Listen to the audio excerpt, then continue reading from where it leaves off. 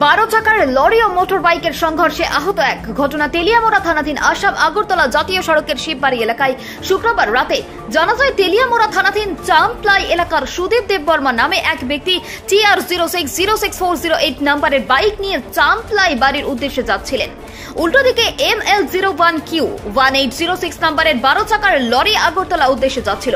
শিববাড়ি এলাকায় আসতে বাইক এবং লরির মধ্যে সংঘর্ষ ঘটে। এতে বাইক চালক সুদীপ দেববর্মা আহত হয়। প্রত্যক্ষদর্শীরা তেলিয়ামোড়া অগ্নি নির্বাপক দপ্তরে খবর দিলে তাকে উদ্ধার করে নিয়ে যাওয়া হয় তেলিয়ামোড়া মহকুমা হাসপাতালে। বর্তমানে সুদীপ্ত দেববর্মার চিকিৎসা চলছে তেলিয়ামোড়া মহকুমা হাসপাতালে বলে জানা যায়।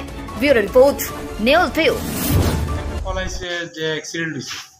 আমরা গিয়েছি গিয়ে দেখলাম বারো চাকার লরি আর পালসার টু টোয়েন্টি সংঘর্ষ হয়েছে। এতে কতজন আহত হয়েছে? একজনই বাইক রাইডার। গাড়ির নাম্বার পাওয়া গেছে কি? গাড়ির নাম্বার আছে। N L zero one. Zero one eight zero six.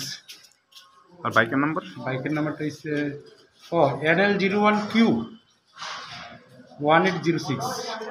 আর বাইকের নাম্বারটা হচ্ছে T R zero six zero six four zero eight যে আহত হয়েছে তার নাম?